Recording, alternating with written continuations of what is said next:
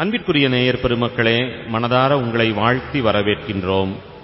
இறை வார்த்தை நமக்கு தருகின்ற அற்புதமான அந்த நல்ல வழியினை நாமும் கேட்டறிந்து பின்பற்றி வாழ்விலே நிறைவை நோக்கிய பயணத்திலே நீடித்த நிலையான இன்பத்தை சுதந்திரித்துக் கொள்ள விழைவோம். தவக்காரத்தினுடைய இரண்டாவது வாரத்திலே வருகின்ற வெள்ளிக்கிழமை தொடக்க நூலிலிருந்து இன்றைக்கான இறை வார்த்தையை இப்பொழுது வாசிக்க கவனத்தோடு கேட்டறிவோம். இதோ வருகிறான் கனவின் மன்னன். வாருங்கள் அவனை கொன்று போடுவோம். தொடக்க நூலிலிருந்து வாசகம் அதிகாரம் முப்பத்து ஏழு இறை வார்த்தைகள் மூன்று முதல் நான்கு பனிரெண்டு முதல் பதிமூன்று மற்றும் பதினேழு முதல் இருபத்தி எட்டு முடிய. இஸ்ரேல் முதிர்ந்த வயதில் தமக்கு யோசேப்பு பிறந்தமையால் அவரை மற்றெல்லா புதல்வரையும் விட அதிகமாக நேசித்து வந்தார். அவருக்கு அழகு வேலைப்பாடுகள் நிறைந்த ஓர் அங்கியை செய்து கொடுத்தார்.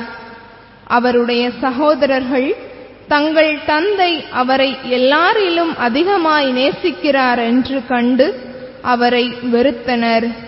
அவர்களால் அவரோடு பாசத்துடன் பேச இயலவில்லை. அப்படி இருக்கையில் அவர் சகோதரர் செக்கேமில் தம் தந்தையின் மந்தைகளை மேய்க்கச் சென்றனர்.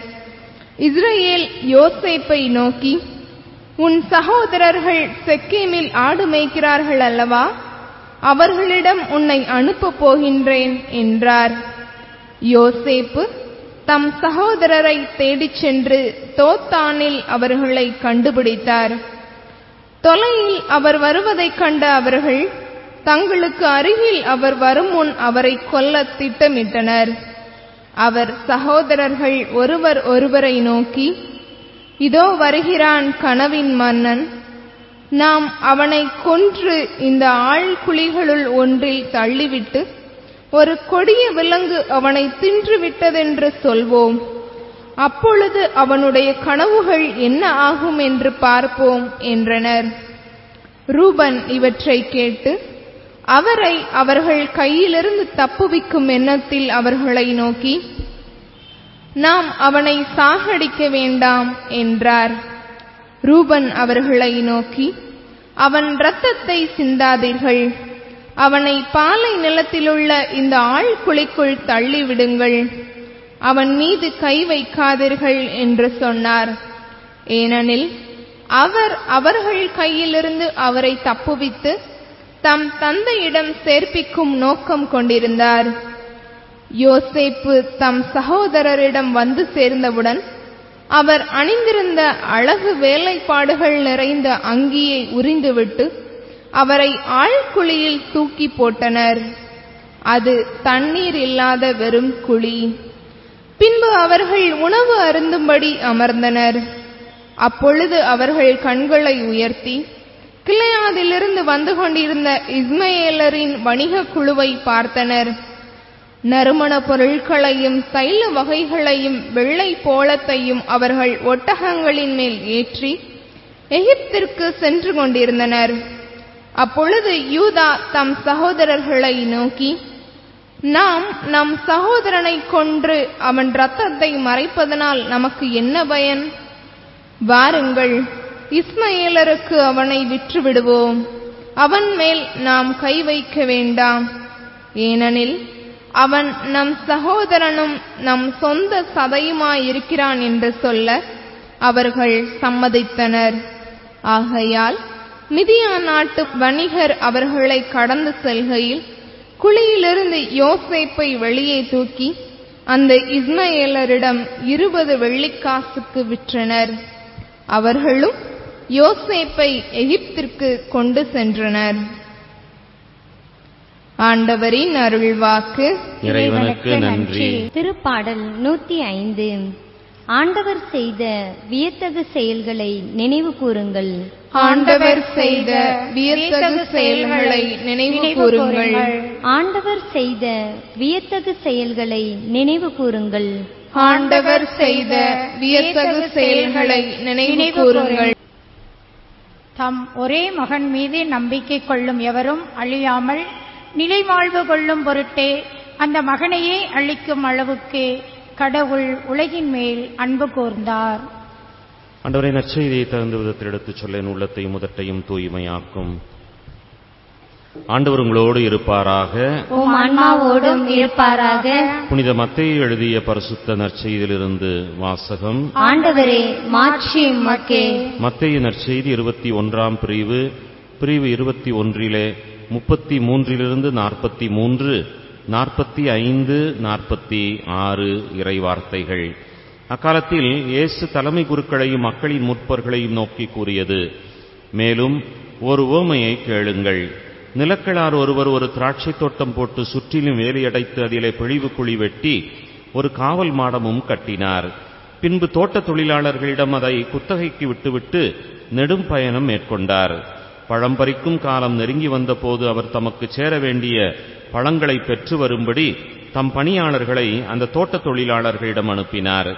தோட்ட தொழிலாளர்களோ அவர்களுடைய பணியாட்களை பிடித்து ஒருவரை நையப்புடைத்தார்கள் ஒருவரை கொலை செய்தார்கள். ஒருவரை கல்லால் எறிந்தார்கள். மீண்டும் அவர் முதலிலே அனுப்பினவர்களை விட மிகுதியான வேறு சில பணியாட்களை அனுப்பினார். அவர்களுக்கும் அப்படியே அவர்கள் செய்தார்கள். தம் மகனை மதிப்பார்கள் என்று அவர் நினைத்துக்கொண்டு அவரை இறுதியாக அவர்களிடம் அனுப்பினார். அந்த மகனை கண்டபோது தோட்டத் தொழிலாளர்கள் இவன்தான் சொத்துக்கு உரியவன் வாருங்கள் நாம் இவனை கொன்று போடுவோம். அப்பொழுது இவன் சொத்து நமக்கு கிடைக்கும் என்று தங்களிடையே பேசிக் கொண்டார்கள். பின்பு அவர்கள் அவரை பிடித்து திராட்சை தோட்டத்திற்கு வெளியே தள்ளி கொன்று போட்டார்கள்.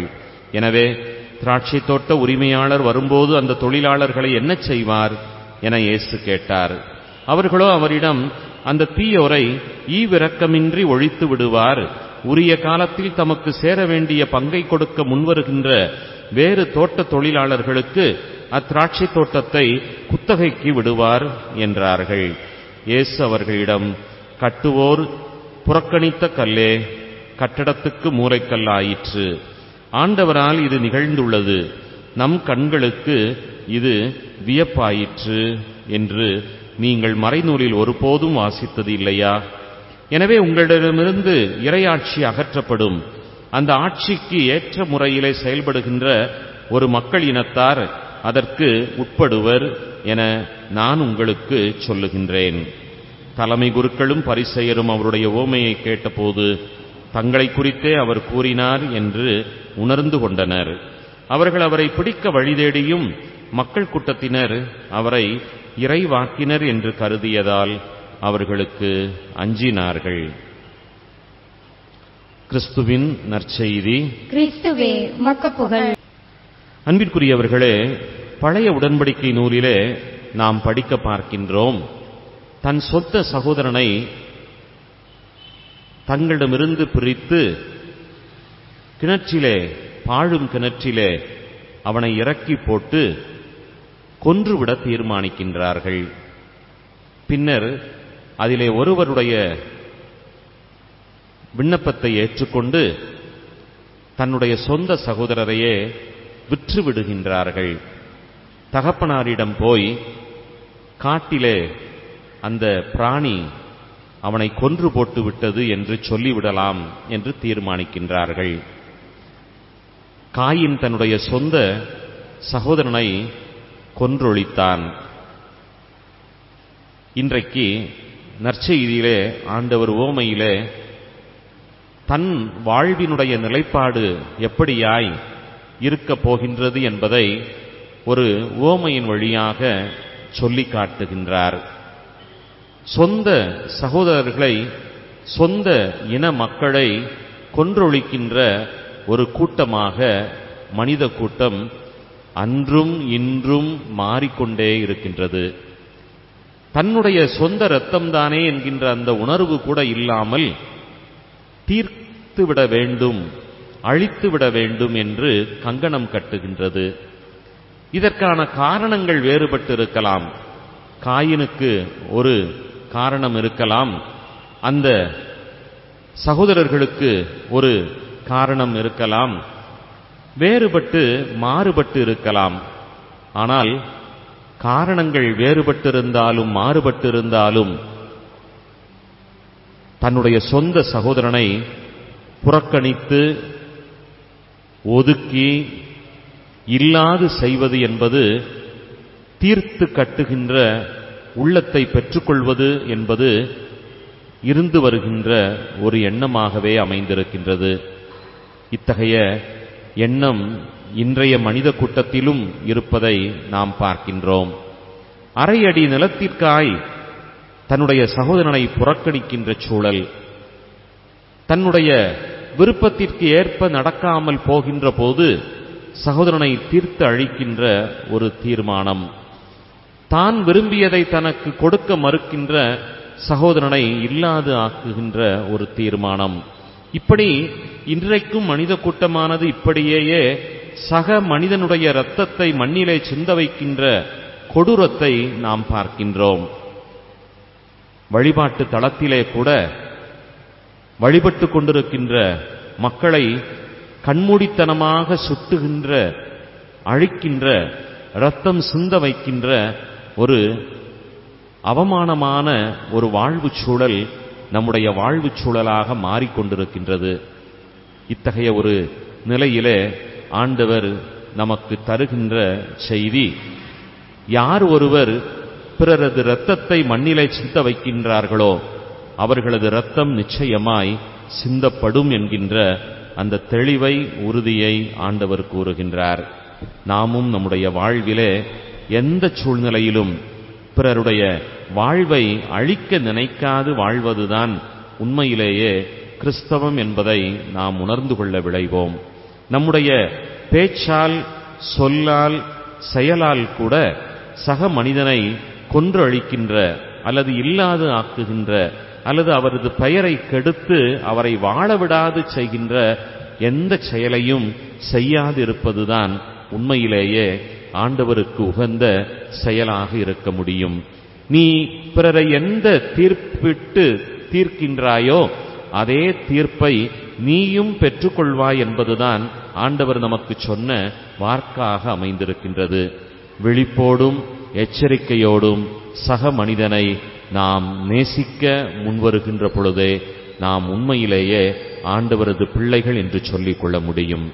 அத்தகைய நல்ல மேலான பரந்த இதயத்தை கேட்போம் பெற்றுக்கொள்ள விளைவோம். இந்த நாள் உங்களுக்கு இனிய நாளாக இருக்கட்டும். இணைந்திருந்து கேட்டு மகிழ்ந்து இறைவனை துதியுங்கள். ஆமென்.